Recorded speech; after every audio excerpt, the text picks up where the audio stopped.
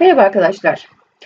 Bugünkü dersimizde ilk olarak ulaştırma problemini başlangıç çözümünü kuzeybatı köşe yöntemiyle bulacağım. Kuzeybatı köşe yöntemiyle bulduğum çözümde daha sonra ne yapacağım? Optimumluğu inceleyeceğim. Optimum değilse de nasıl optimum hale getireceğimi göstereceğim arkadaşlar. Gelin kuzeybatı köşe yöntemiyle sorumuzu çözelim. Şimdi biliyorsunuz kuzeybatı köşe yönteminde e, en tepedeki hücreden başlayacağız. Ancak ne demiştik? Verilen problem dengeli mi değil mi diye mutlaka kontrol edin demiştik. Bakın toplam talep ve toplam arzın birbirine eşit olması gerekiyordu. Toplam talebin toplam arza eşit olması gerekiyor. Dengeli bir problemde. Toplam talebimiz 713 e, ve toplam arzımız da 713 olduğu için bu dengeli bir problem. Kuklaya ihtiyacımız yok. Kukla arz merkezine veya kukla talep merkezine ihtiyacımız yok arkadaşlar. Önce bunu kontrol ediyoruz. Arkasından da ne yapacağız? Yerleştirmelere başlayacağız.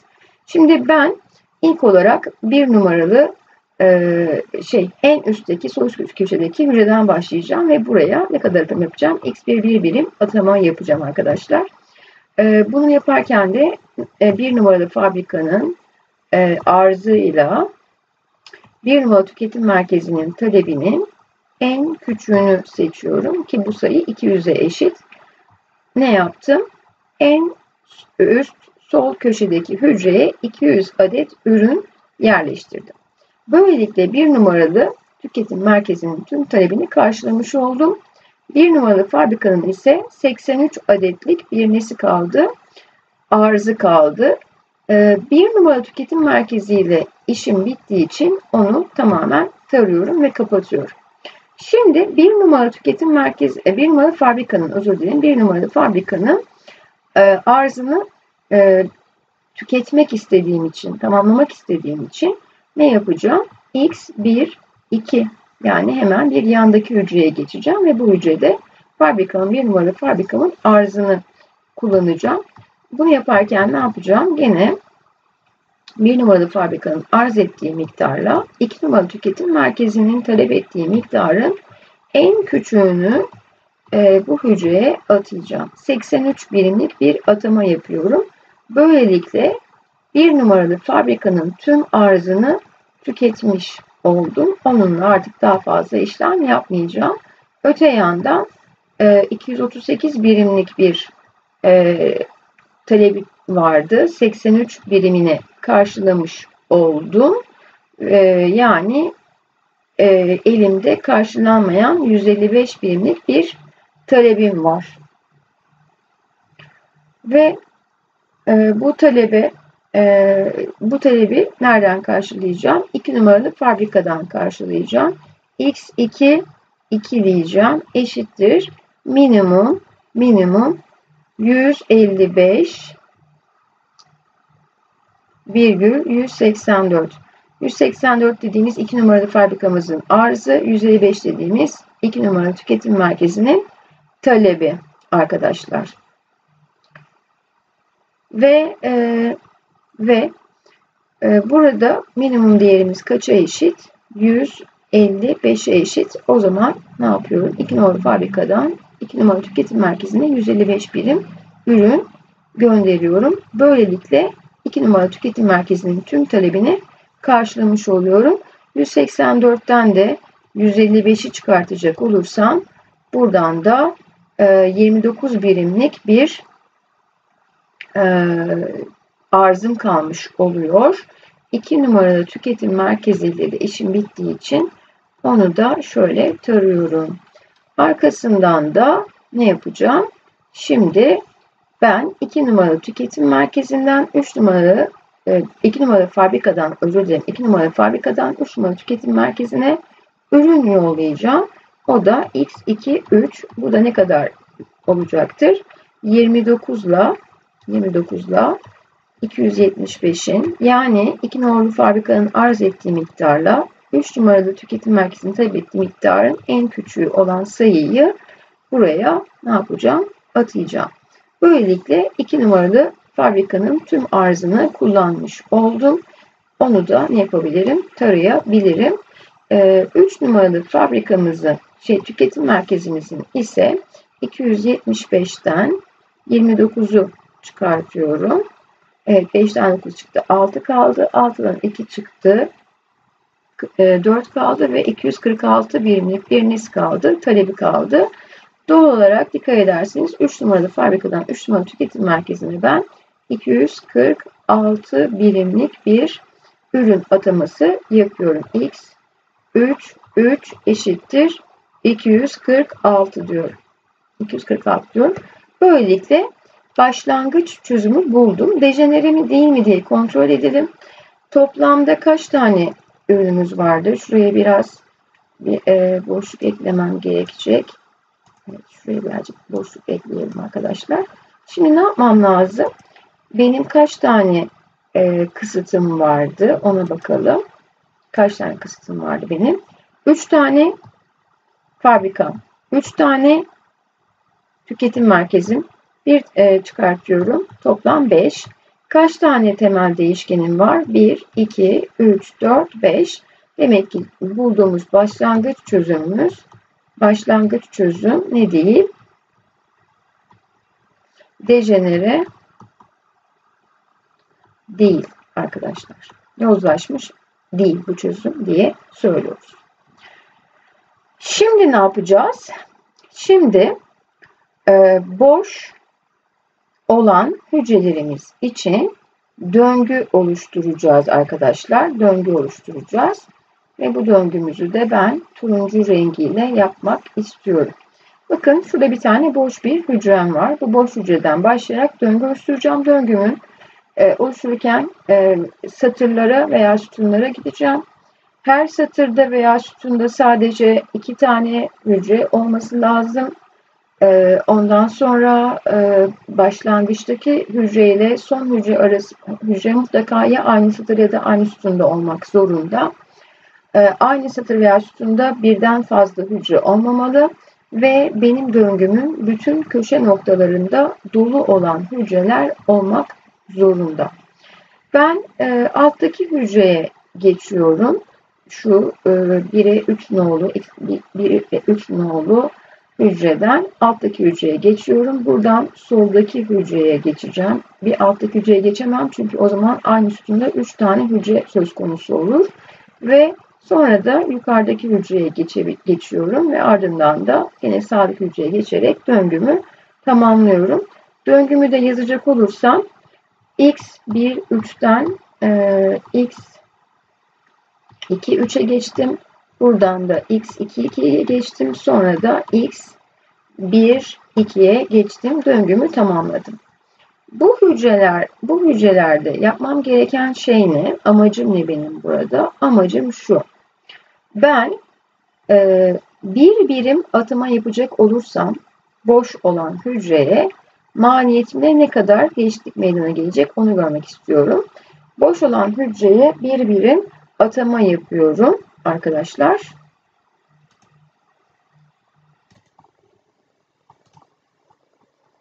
Evet arkadaşlar şimdi ne demiştik? Buraya artı bir birim ürün ekledik. Komşusundan bir birim çıkartıyoruz. Yandaki komşuya bir birim ekliyoruz. Üstteki komşudan da bir birim ürün çıkartıyoruz. Böylelikle bakın artı 1, eksi 1, artı 1, eksi 1 toplamları 0 oldu. Yani arz ve talep dengesi bozulmadı.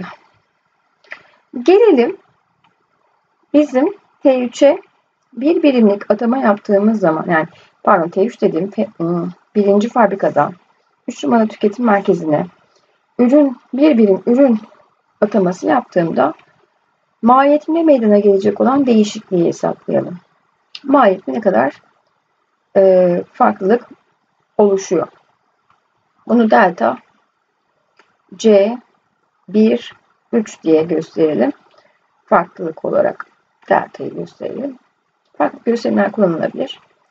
Şimdi e, ben buraya bir birim eklediğim için ve e, bir numaralı fabrikadan 3 numaralı e, tüketim merkezine birim maliyetim 17 lira olduğu için maliyetimde 17 liralık bir artış meydana geldi. Alttaki hücreden bir birim ürün çıkarttığımdan dolayı ve birim taşıma maliyetimde 14 lira olduğundan dolayı 17'den de ne çıkartacağım? 14'ü çıkartacağım.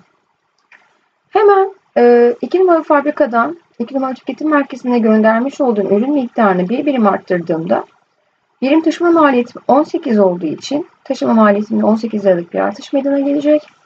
Ve 1 numaralı fabrikadan 2 numaralı tüketim merkezine gönderdiğim ürün miktarını bir birim azaltacağım için ve birim taşıma maliyetim 13 olacağı için burada da maliyetimde 13 liralık bir azalma meydana gelecek. Bakacak olursak ne kadarlık bir fark söz konusu? 17'den 14 çıktı 3 birim, 18'den 10 çıktı 5 birim, toplam 8 birimlik bir değişim söz konusu oldu. Bir başka ifadeyle ben x1 3'e bir adet ürün verdiğimde, gönderdiğimde, bir adet ürün gönderdiğimde toplam maliyetim 8 TL olsun bu. Türk lirası olsun. 8 TL ne oldu? Arttı. Öyleyse e, X1 3'ün temelde olmaması benim işime yarıyor. Buraya ürün atamamamız gerekmekte. Çünkü ürün atarsak maliyetimiz azalmıyor, artıyor.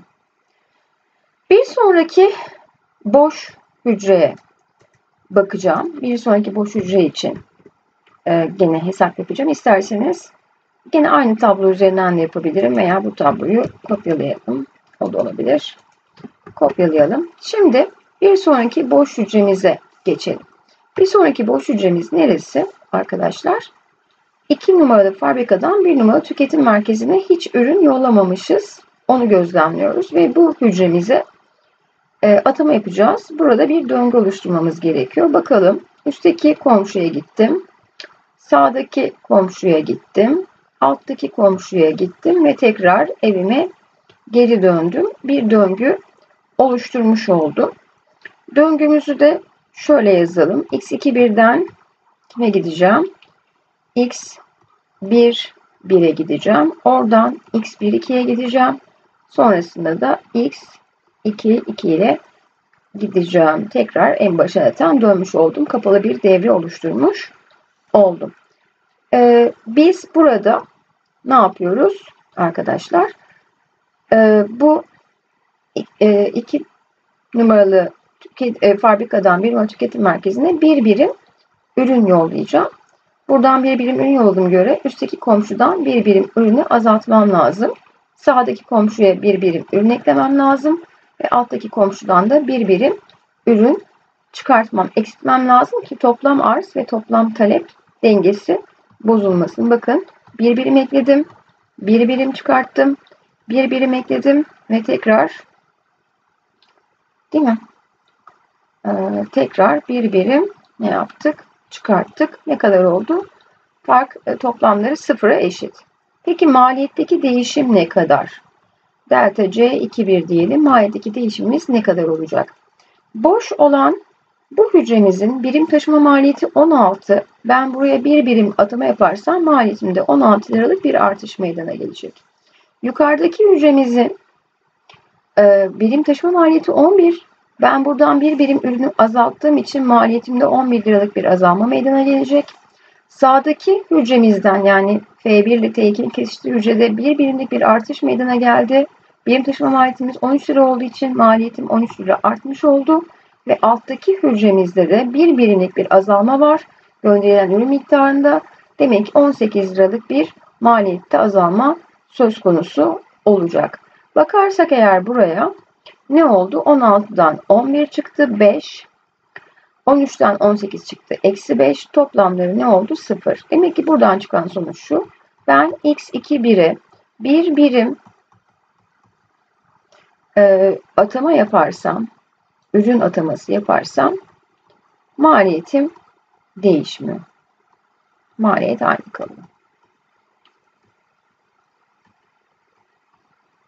Yani şimdilik burada e, buraya bir e, atama yapmamın maliyetim azaltıcı bir etkisi olmadığı için bir sonraki boş hücreye geçeceğim. Ve o boş hücrelerimiz de üçüncü satırda yer almakta. Bakın şimdi üçüncü satırdaki ilk boş hücremize atama yapmayla başlayalım. Ee, ne yapacağız? Buradaki hücremize atama yapacağız. Bakın ve uzun bir yolumuz var gibi gözüküyor.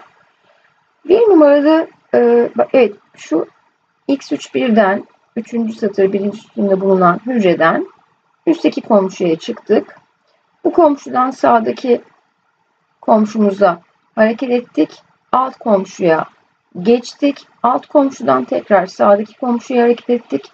Sağdaki komşudan tekrar alttaki komşuya geçtik ve dikkat ederseniz evimize bu şekilde geri döndük. Bu biraz daha uzun bir e, ne oldu? Uzun bir arkadaşlar döngü oldu. Yani dikdörtgensel olmadı o. Bu olsun. O, yanlışlığımız yok. Bakın her sütun ve satırda sadece iki tane ardışık olan hücre var. Köşelerde sadece dolu olan hücreler var. Önemli olan zaten buydu. Bunu da sağlamış olduk. Şimdi gelelim ne yapmaya? Buralara e, atamalarımızı yapalım. Şimdi ben bu boş olan hücreye bir birim e, ürün yükledim. Yukarıdaki komşusundan bir birim ürün çıkarttım. Sağdaki komşuya bir birim ürün yükledim. Alttaki komşudan bir birim ürün çıkarttım.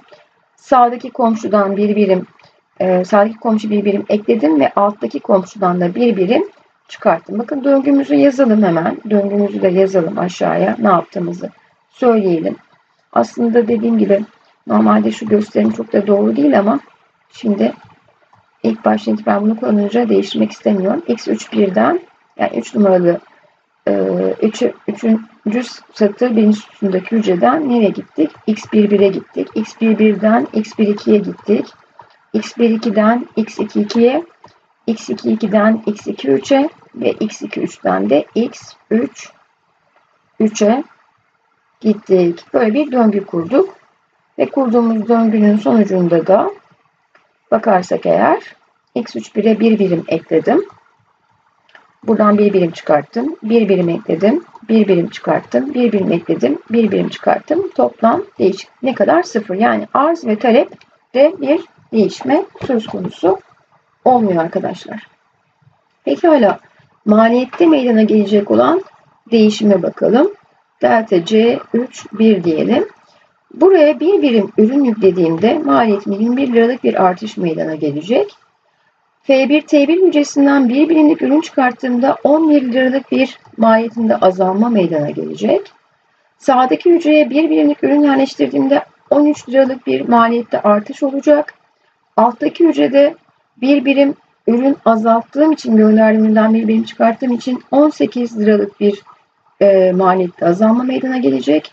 Sağdaki hücrede şu 2 numaralı e, fabrikadan 3 numaralı e, tüketim merkezine giden hücrede bir birim tekrar ürün ekleyeceğim için maliyetimde 14 liralık bir artış olacak ve son olarak da e, 3'e 3 ne oluyor? Emin 3 ve 3. satır 3. üstüne yer alan hücreden de bir birim çıkartacağım için maliyetimde 13 liralık bir azalma meydana gelecek. Bakalım toplam değişim ne kadar olacak? 21'den 11 çıktı.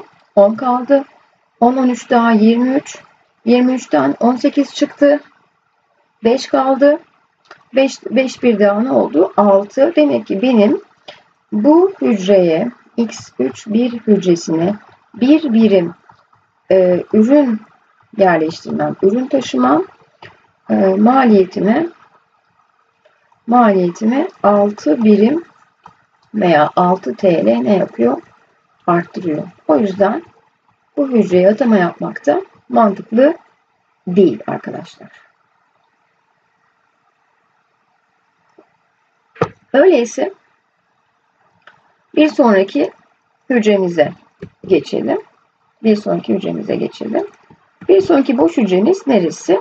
Artık bakın ben 3. satır 2. sütundaki hücreye geldim. Bu hücre için inceleme yapacağım. Bu hücre için ne oluşturacağım? Bir döngü oluşturacağım. Oldukça kolay gözüküyor buradaki döngümüz.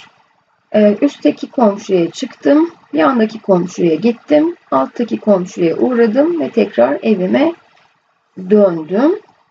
Bu boş olan hücreye bir birimlik atama yaptım. Yukarıdan bir birim çıkarttım. Sağdan bir birim, sağdakine bir birim ekledim. Soldakinden de yine bir birim çıkarttım. Yani benim döngüm şu formatta x3 2'den x2 2'ye gidiyorum. Oradan x2 3'e gidiyorum. Sonra da x3 3'e gidiyorum. x3 2 bir birim eklendi. Buradan bir birim çıkartıldı. Bir birim eklendi. Bir birim çıkartıldı. Toplamları 0. Arz ve talepte bir farklılık söz konusu olmadı. Peki hala neye bakacağız şimdi? Buradaki e, hücreye yapılan atama sonucunda maliyetimizde ne kadarlık bir değişim meydana geleceğini göreceğiz arkadaşlar. E, bir birim atama yaptığım zaman 24 TL'lik bir artış olacak. Eksi 18 artı 14 eksi 13 ve buna da bakarsak eğer ne olmuş oldu? 24'ten 18 çıkarsa 6 6 e, bir daha 7 yapar. Demek ki ben bu hücreye atama yapacak olursam e, yani x3 2 numaralı hücreye bir birim e, ürün atarsam atım, atarsam o zaman maliyetim maliyetim 7 TL artacak anlamına geliyor. E, dikkat ederseniz biz bütün boş hücrelerimizi aslında kontrol etmiş olduk ama bu boş hücrelerin hiçbirisinde e, ne söz konusu olmadı? E, maliyetteki değişim negatif olmadı arkadaşlar. Bütün bu değişiklikler ya sıfır ya da sıfırdan büyük. Bu da aslında bizim optimum çözüme ulaştığımız anlamına geliyor. Optimum çözüme ulaştığımızı söyleyebiliriz. Ama alternatif bir çözüm var. O da e, sıfır değerini alan bir değişiklik vardı hatırlarsanız eğer. Ondan kaynaklı. Şimdi bakın onu da kontrol edeceğiz. Evet arkadaşlar e, dediğimiz gibi bütün e, çözümler yani pardon bütün bulmuş olduğumuz bu delta c'ler e, hepsi birden ya sıfır ya da negatif e, şey ya da sıfırdan büyük. Yani 8 değerini bulduk, 0 değerini bulduk, 6 değerini bulduk, bir de 7 değerini bulduk. E, bütün bu e, bulduğumuz değerler yani e, maliyetteki meydana gelen değişiklikler, maliyetteki değişiklikler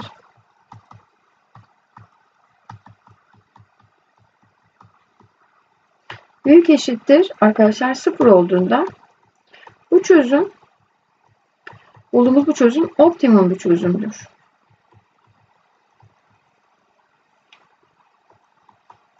Ancak ancak e, hatırlarsanız eğer hangisini biz hangisinde evet şu x21 hücresinde e, biz neyi bulduk? Bu hücrede e, değişikliğin sıfır olduğunu söyledik, bulduk. Bunun da anlamı alternatif bir çözümü mevcut olduğu. Yani optimum çözüm var ama bir tane alternatif çözüm var. Bu alternatif çözümü nasıl bulacağımızı da hemen size göstereyim. Onu da yapalım. Yani optimum çözümümüz var ama alternatif çözümümüz de söz konusu. Ee, şöyle yapalım. Şu aşağıya doğru inelim iyicene ve buraya yapıştıralım. Yani alternatif optimum var. Neden? Alternatif optimumumuz var. Çözüm mevcut. Neden? Çünkü bizim şu 2'ye 1 e, delta C 2 1 dediğimiz sıfır çıktığı için. Peki ben alternatif çözümü nasıl bulacağım? Aslında şimdi anlatacağım yöntem optimum çözüme gitmek için kullanacağımız yöntemle aynı. O yüzden lütfen dikkatlice dinleyin arkadaşlar. Döngüyü yeniden oluşturacağım buradaki e, boş hücre için. Buradan e, farklı renk seçelim. Buradan yukarıdaki hücreye geçtim. Sağa gittim. Aşağıya indim. Ve tekrar başa döndüm. Yani benim e, şu şekilde bir döngüm var. x2 1 oradan x1 1 arkasından x1 2 ve tekrar x2 2 şeklinde buraya bir birim boş olan hücreye bir birim atama yapıyorum. Burası artı 1, eksi 1, artı 1, eksi 1. Bakın toplam değişiklik ne kadardı? Delta C 2, 1 kaça eşitti? Delta C 2, 1 artı 16, eksi 11, artı 13 eksi 18 yani sıfıra eşitti. Demek ki buraya atama yapacak olursam e, maliyetim değişmeyecek. Optimum çözüme ulaştığına göre alternatif optimumu bulmuş olacağım. Soru şu. Madem ki bu hücreye atama yapacağız. O zaman bu hücre temel değişken olacak. O zaman dolu olan hücrelerden bir tanesinin ne olması gerekecek? Temel dışı olması gerekecek. Yani boş bir hücreye dönüşmesi gerekecek. Peki hangi hücreden değil mi? Hangi hücreyi temel hücre olmaktan çıkartacağım? Ona bakmam lazım. Şimdi artı yaptığımız, yani artı bir artı bir diye koyduklarımız hücre, koyduğumuz hücreler zaten ürün eklediğimiz hücreler. Biz iki tane negatif e, eksi bir değerini vermiş iki tane hücremiz var. Yani biz buradan ürün çıkartacağız. Bu iki tane hücre demekti. Bu iki hücreden bir tanesi temelden çıkmak durumunda. Eksi işaretine sahip olan e, yani içinden ürün çıkartılması gereken hücrelerden bir tanesi x11 ve buraya yapılmış olan atama 200 birim. Eksi, eksi 1 diye işaretlediğim yani bir birim ürün çıkarttığım diğer hücre ise x2 2 ve buraya yapılan atlamada 155 birim. Şimdi ben ürün çıkartacağım ve ürün çıkarttığım ürün kadar da ürün ekleyeceğim. Lütfen buna dikkat edin. Yani bir birim ürün ekliyorsam bir birim ürün çıkartıyorum dikkat ederseniz.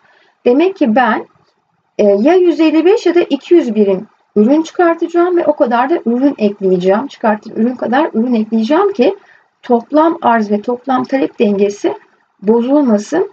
O yüzden bu ikisinin en küçüğüne bakıyorum. Bu ikisinin en küçüğü nedir? x1 1 ile x2 2'nin en küçüğü kaça eşittir? 155. Yani biz ne yapacağız? Arkadaşlar 2'ye 2 hücresinden 155'i çıkartacağız ve bu e, artı e, bu şey boş olan hücreye 155 birimi yerleştireceğiz. Yukarıdan gene 155 birim çıkartacağız.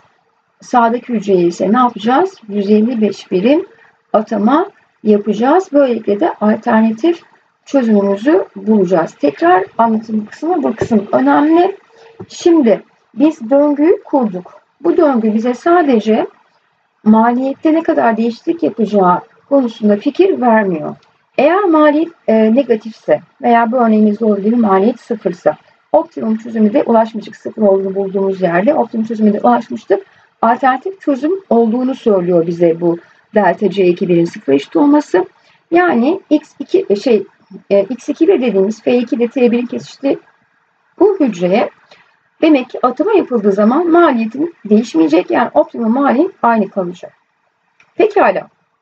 Ben buraya e, ben buradaki hücre sıfır yani temel dışı değişken.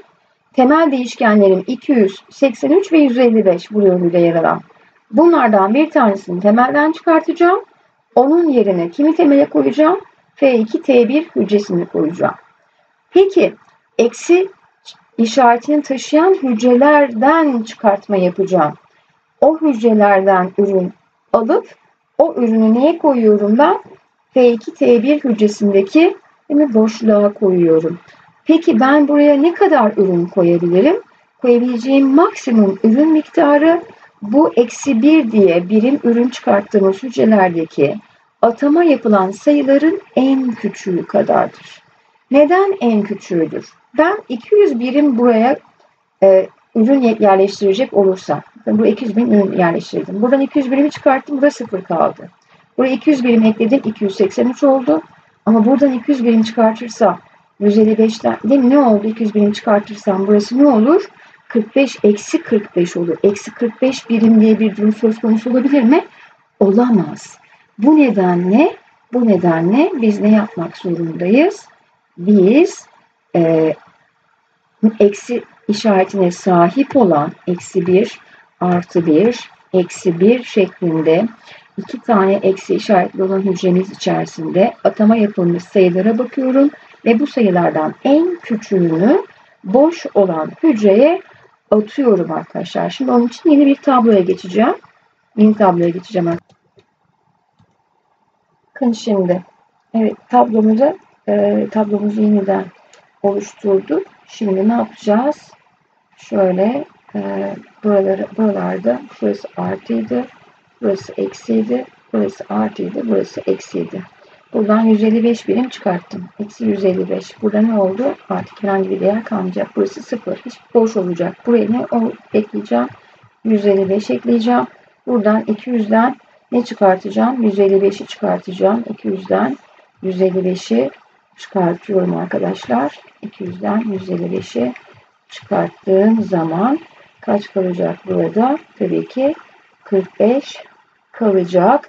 Yani bu hücrenin yeni e, ataması yapılan bir miktar 45 birim olacak. Buraya da 155'i ne yapıyorum?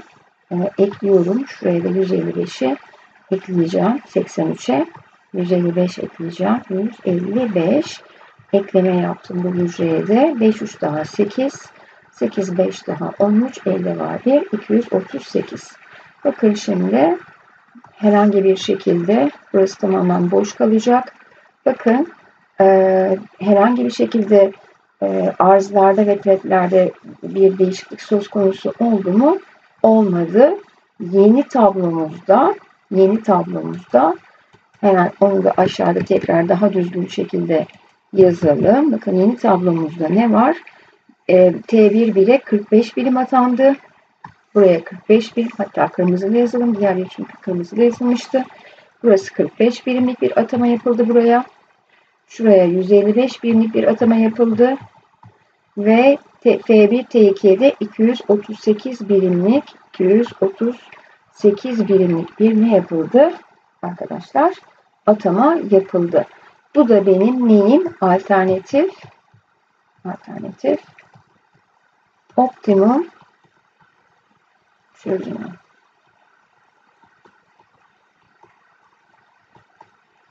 Evet şimdi e, özetleyecek olursak bize verilen bir başlangıç çözümde yapmamız gereken ilk şey neymiş? Ee, boş olan her bir hücre için, boş olan her bir hücre için bir döngü oluşturuyoruz. Ee, boş olan hücrelere döngü oluştururken dikkat edeceğimiz şeyler ne? 1. Ardışık hücreler aynı satırda veya aynı sütunda olacak. 2. Bir satırda veya bir sütunda 3 tane hücre olmayacak. 3. Bir döngünün bütün e, yani bir tane boş olan köşesi dışındaki diğer tüm köşeleri dolu olan hücrelerden e, meydana gelecek. Sonra ne yapıyoruz? Boş hücremize bir birim atıyoruz.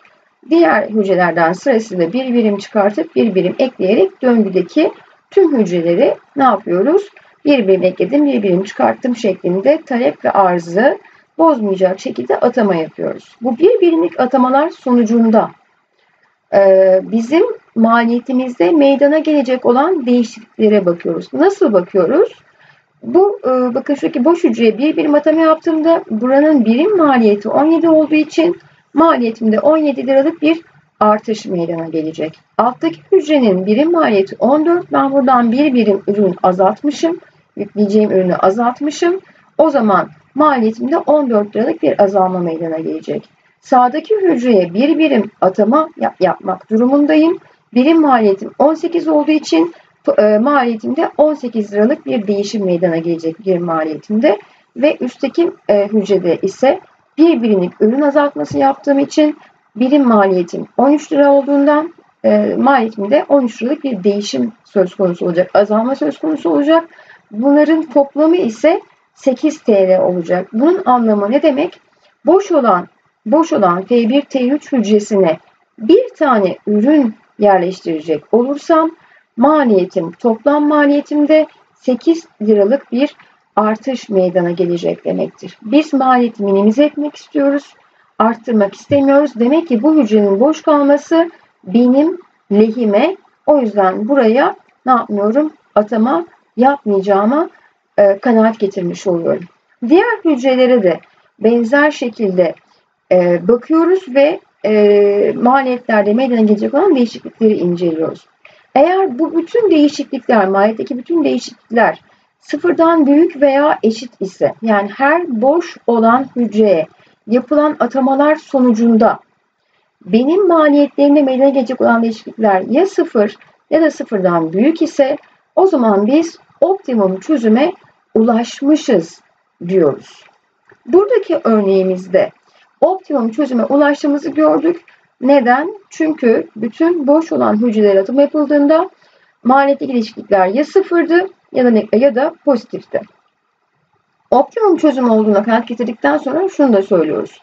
Bakın e, C21 yani ikinci satır birinci sütundaki hücremize bir birimlik atama yapıldığında maliyette değişim meydana gelmiyor olması ve bu çözümün de optimum olması bize alternatif bir optimumun olduğunu ifade ediyor. Yani ben ben e, bu tablonun yerine ikin, ikinci fabrikadan bir numara tüketim merkezine ürün yollayarak da aynı maliyete sahip olan bir optimum çözüm bulabilirim. Bana bunu söylüyor.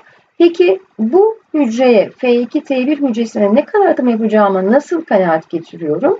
Döngü içerisinde bu e, döngüde negatif eksi 1 eksi 1 e, değerine sahip olan tüm hücreler içerisindeki en küçük atanan, atanan miktarı buluyorum. Burada iki tane hücre var. Eksi 1 değeriyle gösterdiğim yani ürün çektiğim, ürün çıkarttığım bir tanesi F1 T1 buraya tanınan ürün miktarı 200. Bir tanesi 155. Bunların en küçüğü 155. Demek ki ben demek ki ben 2 numaralı fabrikadan 1 numaralı tüketim merkezine 155 adet ürün yollayacağım. Ve tıpkı buradaki artı 1, eksi 1, artı 1, eksi 1 gibi buraya 155 birim ürün ekliyorsam yukarıdan 155 birim çıkartacağım. Yana 155 birim ekleyeceğim. Aşağıdan da ne yapacağım? Gene 155 birim ürün çıkartacağım ve yeni bir tablo elde edeceğim. Bu tabloda benim e, alternatif optimum çözümüm olmuş olacak. Bakın e, ne, yap, ne yapmış olduk? Yeni bulduğumuz alternatif optimum çözümde bir numaralı fabrikadan iki numara, bir numaralı tüketim merkezine 45 tane, bir numaradan iki numaralı tüketim merkezine 238 tane, 2 numaralı tüketim merkezinden 1 numara, 2 e, numaralı fabrikadan 1 numaralı tüketim merkezine 155 lira tane ve 2 numaralı fabrikadan 3 numaralı tüketim merkezine 29 adet ürün gönderirken 3 numaralı fabrikadan 3 numaralı tüketim merkezine 246 adet ürün gönderiliyor. Her iki tablonun maliyetlerini de hesaplarsanız bunların birbirine eşit olduğunu çok rahat da görebilirsiniz. Bunun maliyeti 45 çarpı 10 1 artı 238 çarpı 13 artı 155 çarpı 16 artı 29 çarpı 14 artı 246 çarpı 13 ve bu da kaça eşittir dersek bu da arkadaşlar kaça eşitmiş bakalım 9673'e eşitmiş 9600 73 TL'ye eşitmiş. Türk lirasına eşitmiş arkadaşlar. 9673 TL'ye eşitmiş. İlk baştaki tablomuzda da bakalım ne kadardı acaba onun. Neden bunu ben daha yukarı farklı şekilde alamıyor muyum acaba? Şöyle yapalım. Evet bakın ilk tablomuz için de maliyetimizi bulalım. Oradaki maliyeti de hesaplarsak maliyet eşittir 200 çarpı 11 artı 83 çarpı 13 artı 155 çarpı 18 artı 29 çarpı 14 e, ve e, 246 çarpı 13 bunu da gene bakarsak ne kadarmış maliyetimiz dersek onun da aynı olması lazım zaten. Onun da maliyeti 9673 liraya eşit olacak. Bu da 9673. Bakın alternatif çözümde de zaten aynı sayıyı bulmuştuk. Evet e, aslında tesadüfen denk geldi böyle bir örnek. Optimum çözüm çıktı. Ama bir sonraki örneğimizde optimum olmayan bir çözüm yapacağım. E, yine atlama taşı yöntemini kullanarak arkadaşlar. E, hepinize e, hepinize e, sevgilerimi, saygılarımı iletiyorum. Beni dinlediğiniz için, beni dinlediğiniz için teşekkür ediyorum. Vaktinizi ayırdığınız için. Hepinize e, sağlık, huzur ve mutluluk diliyorum. Sağlıcakla kalın. Sevgiler arkadaşlar.